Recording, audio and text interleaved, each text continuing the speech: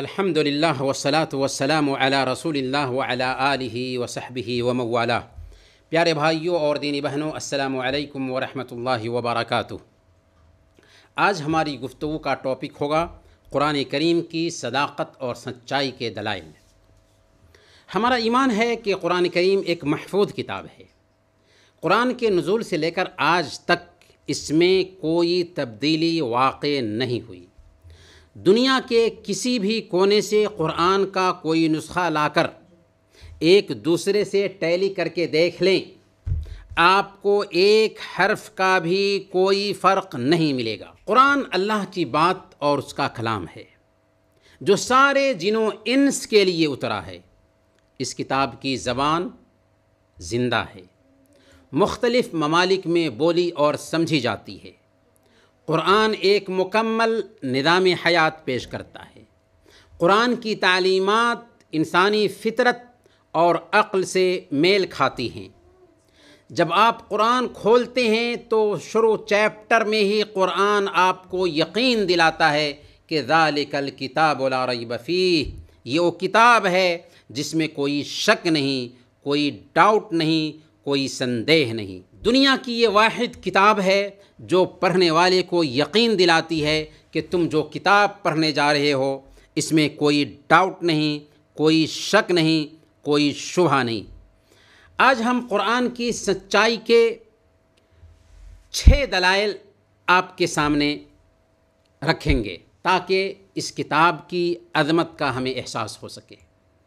सबसे पहली दलील, आइए सारी मजहबी किताबों से हम छः सवालात पूछते हैं ताकि हम उन किताबों की सच्चाई को जान सकें। कैसे उतरी? किन पर उतरी?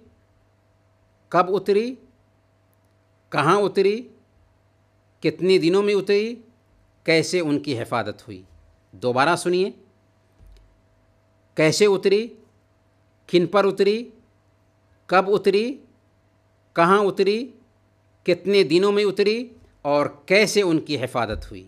हमें कहने दिया जाए कि इन सारे सवालों का सही जवाब किसी धर्म के सोर्सेज हमें नहीं दे सकते, सिवाय कुरान करीम के।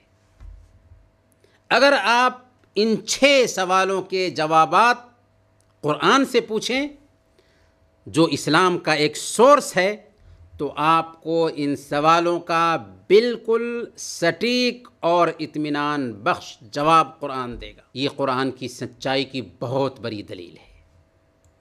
कुरान की सच्चाई की दूसरी दलील ये है कि कुरान जिस नबी पर उतरा, उनकी ज़िंदगी में दो बातें नुमाया तौर पर पाई जाती थी। पहली बात ये कि आप उम्मी नबी थे। आपको लिखना, पढ़ना नहीं आता था। ऐसी कोई तालीम भी नहीं पाई थी जिससे आपको वो मालूम हासिल होती जो कुरान में मौजूद हैं।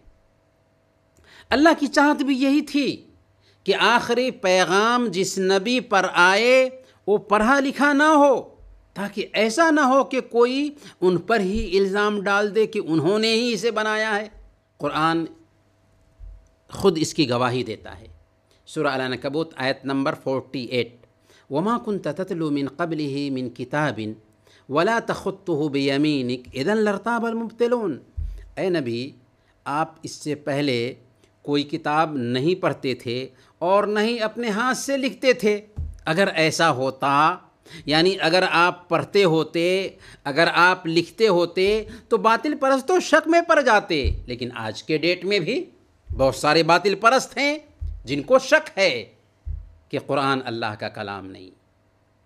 ऐसे कम अक्लों के लिए कोई भी अकली दलील काफ़ी नहीं हो सकती। मोहम्मद सल्लल्लाहु अलैहि वसल्लम की ज़िंदगी का ये तो एक पहलू हुआ कि आप न पढ़ना जानते थे और न ही लिखना जानते थे। दूसरा पहलू ये है कि आपकी ज़िंदगी का एक एक पल महफूद है और पाकिज़ा भी है। महफूद है और पाकीदा भी है। आपके दुश्मनों ने इस पाकिजगी की गवाही दी। आप इतने सच्चे और इतने अमानतदार थे कि लोगों ने आपको असादिक यानी नहायत ही सच्चा इंसान अल अमीन नहायत ही अमानतदार इंसान का लक़ब दे रखा था।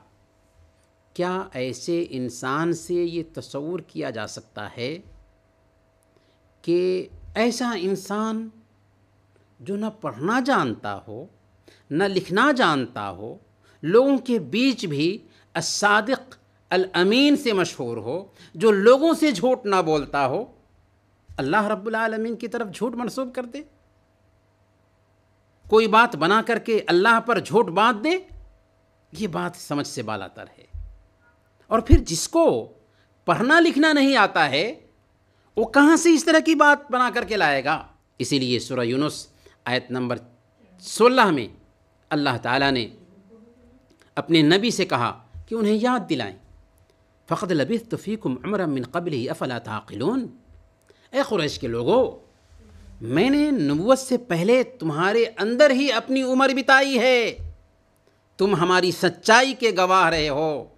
तुम हमारी अमानतदारी के गवाह रहे हो। तुम हमारी पाकबाजी के गवाह रहे हो। तुम हमारी इसमत के गवाह रहे हो। फिर अब तुम मानते क्यों नहीं हो?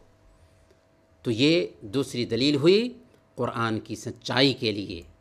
कुरान की सच्चाई की तीसरी दलील ये है कि कुरान तमाम जिनों इंस के लिए, क़यामत के दिन तक के लिए चैलेंज है।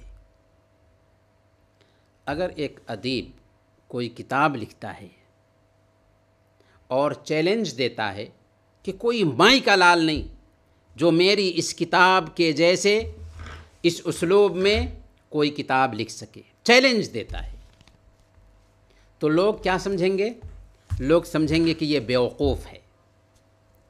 क्योंकि हज़ारों लोग पैदा होंगे या उसके ज़माने में ख़ुद पाए जाते होंगे जो उसके उसलूब से बेहतर उसलूब में लिख सकते हैं। लेकिन क़ुरान ने आज से साढ़े चौदह सौ साल पहले तमाम जिन्नात और इंसानों को ये चैलेंज दिया। सबसे पहले कहा कि क़ुरान के जैसे लाकर पेश कर दो। जब ऐसा ना कर सके तो कहा कि क़ुरान के जैसे दस सूरतें ही लाकर पेश कर दो। जब ऐसा ना कर सके तो कहा कि क़ुरान के जैसे एक सूरह ही बनाकर पेश कर दो। जब ऐसा ना कर सके तो कहा कि क़ुरान के जैसे एक आयत ही बनाकर पेश कर दो। कुरान ने सूरतुल इसरा आयत नंबर अट्ठासी में चैलेंज दिया, तमाम इंसानों को और तमाम जन्नात को, कुल इन इज्तमातिल इंस वल जिन अला यअतु बिमिथल हादल क़ुरआन। ला यअतून बिमिथलिही वलौ कान बादुहुम लिबादिन ज़हीरा ए मोहम्मद सल्लल्लाहु अलैहि आप फरमा दीजिए कि अगर तमाम जिन्नात और तमाम इंसान आपस में मिल कर के क़ुरान के जैसे बना कर लाना चाहें तो हरगिज़ हरगिज़ नहीं ला सकते। ये क़ुरान का चैलेंज था, है और क़यामत के दिन तक रहेगा। अरबों में बड़े बड़े उदबा, बुलगा और फसहा गुज़रे। आज तक अरबी ज़बान के माहरीन पाए जाते हैं, लेकिन एक इंसान तो क्या? किसी कमेटी ने भी क़ुरान के उसलूब में एक आयत भी बनाने की अपने अंदर हिम्मत नहीं पाई। हाँ बचकाना कलाम पेश करने की कोशिश हुई और आज की डेट में भी होती है। तारीख़ में एक नाम अब्दुल्ला बिन मुकफ़ा का आता है, जो अरबी ज़बान का नाम और अदीब था। कुछ लोग इस्लाम दुश्मनी में उसके पास गए और उससे कहा कि, आप तो ज़बान बयान के माहिर हैं, कुरान के जैसे बनाकर पेश कीजिए। उसने लोगों से छः महीने की मुद्दत मांगी। चुनानचे उसके पास औराक रख दिए गए और तन्हाई का इंतज़ाम कर दिया गया। छः महीने के बाद जब वफ्त उनके पास गया, देखने के लिए कितना काम हुआ तो इब्नुल मुक़फ़ा ने अपनी आजजी का इजहार करते हुए कहा कि अभी तो एक जुमला भी नहीं बना है। अभी तो एक जुमला भी नहीं बना है। जी हाँ यह है क़ुरान का एजाज़। क़ुरान का चैलेंज सारी इंसानियत के लिए कि क़ुरान को समझना आसान है क़ुरान को याद करना आसान है क़ुरान पर अमल करना आसान है, लेकिन क़ुरान के उसलूब में एक आयत भी बना पाना किसी भी इंसान के बस की बात नहीं, अगरचे सारे इंसान और जिन्नात इकट्ठा हो जाएँ। कुरान की सच्चाई की चौथी दलील ये है कि कुरान की फसाहत व बलागत और एजाज़ कलाम में अजीब तरह की इनफरादियत पाई जाती है। अजीब तरह की इसके अंदर चाशनी पाई जाती है। इस किताब में ऐसी तासीर पाई जाती है कि दिल खुद ब खुद इसकी तरफ़ खींचने लगता है। उमर जैसा जलाली इंसान तलवार हाथ में लिए निकलता है ताकि अल्लाह के नबी सल्लल्लाहु अलैहि वसल्लम का काम तमाम कर दे, लेकिन चंद आयात सुनते हैं कि दिल की दुनिया बदल जाती है और इस्लाम कबूल कर लेते हैं। हबशा का बादशाह नज्जाशी हज़रत जाफ़र तैयार से सुर मरियम सुनता है तो आप दीदा हो जाता है, यहाँ तक कि इस्लाम को गले लगा लेता है। तुफ़ैल बिन अमर अदौसी क़ुरान की चंद आयतें सुनते हैं कि इस्लाम कबूल कर लेते हैं। यह है क़ुरान की सच्चाई की दलील। क़ुरान की सच्चाई की पांचवी दलील ये है कि क़ुरान और अहादीस दोनों के उसलूब अलग अलग हैं। यानी कोई ये कह सकता है ना कि मोहम्मद सल्लल्लाहु अलैहि वसल्लम ने कुरान बनाया। ठीक है, मोहम्मद सल्लल्लाहु अलैहि वसल्लम ने कुरान बनाया है तो मोहम्मद सल्लल्लाहु अलैहि वसल्लम के अल्फाज तो आज ऑथेंटिक रूप में मौजूद हैं और कुरान भी आज मौजूद है। एक अदना इंसान, जिसे अरबी का हल्का ज़ौक़ होगा, कुरान और अहादीस दोनों में टैली करके, मुआजना करके देख सकता है। उसे ये बात समझने में ज़र्रा बराबर भी दिक्कत नहीं होगी कि क़ुरान और हदीस दोनों का उसलूब बिल्कुल अलग अलग है। और जब क़ुरान और अहादीस दोनों के असालीब मुख्तलिफ़ हैं, दोनों के असालीब अलग अलग हैं तो ये मानना पड़ेगा कि दोनों का सर चश्मा एक नहीं, क्योंकि किसी भी इंसान का दो उसलूब नहीं होता। इसीलिए तजर्बाकार लोग तहरीरों को पढ़कर अंदाज़ा लगा लेते हैं कि ये फ़लाँ राइटर की तहरीर है। और अगर किसी इंसान ने दो उसलूब बरतने की कोशिश की तो एक दिन, दो दिन ऐसा चल सकता है, मुसलसल तेईस साल तक इस तकल्लुफ़ को बरकरार रखना मुमकिन ही नहीं। गोया कि ये इस बात के लिए सबूत है कि क़ुरान किसी इंसान का कलाम नहीं है, बल्कि रब का कलाम है जो हमारे बीच पाया जाता है प्यारे भाइयों और दीनी बहनों, क़ुरान की सच्चाई की छठी और आखिरी दलील कुरान करीम और जदीद साइंसी तहकीक़ात हैं। और ये एक लंबी बहस है। इस मौजू पर बाबा किताबें लिखी गई हैं कुरान और साइंस के हवाले से। कुरान ने 1400 साल पहले हैरान कन साइंसी इनकशाफात की चर्चा की है जिसकी खोज आज के ज़माने में साइंस कर सकी है। मिसाल के तौर पर, जदीद साइंस कहती है कि कायनात की तश्कील गैसी मादे से हुई है और कायनात शुरू में धुआँ ही धुआँ थी। यही बात कुरान ने आज से चौदह सौ साल पहले कही थी। सुरफुसलत आयत नंबर ग्यारह सुम मस्तवा इलसमा वहिया दुखान फिर अल्लाह ताला आसमान की तरफ़ मुतवजह हुआ, जो उस वक्त महज धुआँ था। उसी तरह इस ज़माने के साइंसदान इस बात पर मुतफ़ हैं कि ज़िंदगी की इब्तदा, ज़िंदगी की शुरुआत पानी से हुई है और पानी ही तमाम जानदार खलियात सेल्स का जुज़ आदम है। और ये बात चौदह सौ साल पहले कुरान ने बता दी थी। सुरह अल अंबिया आयत नंबर तीस व जल्ला मिनलमा कुल्ल शैन हई हमने पानी से हर ज़िंदा चीज़ को पैदा किया। उसी तरह जदीद साइंस ने ये खोज की है कि पहाड़ों की जड़ें ज़मीन के नीचे हैं और उसका हल्का सा सिरा ऊपर है, जो ज़मीन को हिलने और खिसकने से बचाता है। ये बात कुरान में डेढ़ हज़ार साल पहले बयान कर दी गई थी। चुनानचे अल्लाह ने फरमाया सुरम्बिया आयत नंबर इकतीस, वजअलना फिल अर्द रवासिया अनतमीद बिहिम। हमने ज़मीन में पहाड़ जमा दिए ताकि उन्हें लेकर ढुलक न जाए। अब सवाल ये पैदा होता है कि ये तमाम असरार जो साइंस को इस ज़माने में मालूम हुए हैं, कुरान में कहाँ से आ गए?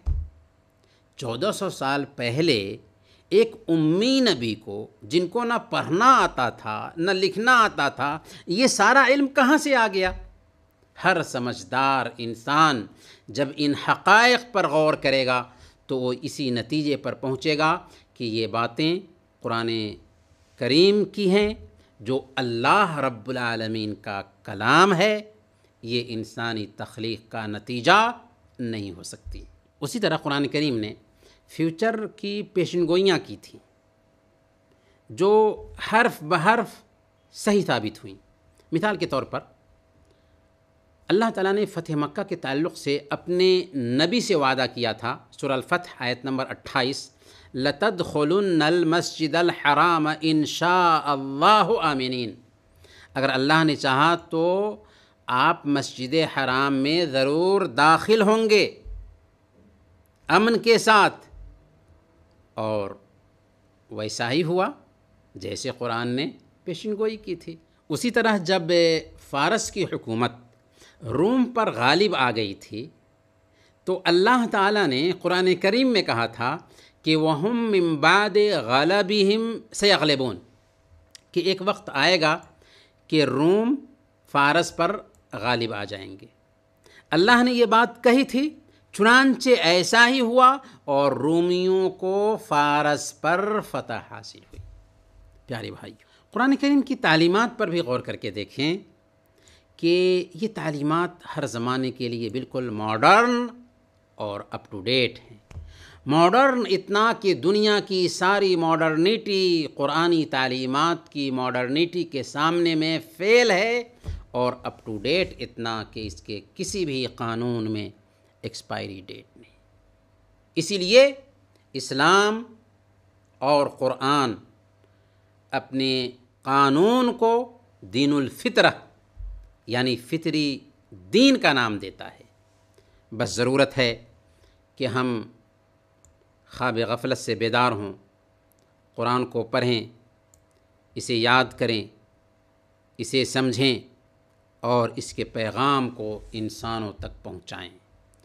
मुसलमानों, उठो कुरान की अदमत को चमकाओ, जहाने बेअमा को आफ़ियत के राज समझाओ ज़माना आज भी क़ुरान ही से फ़ैज़ पाएगा।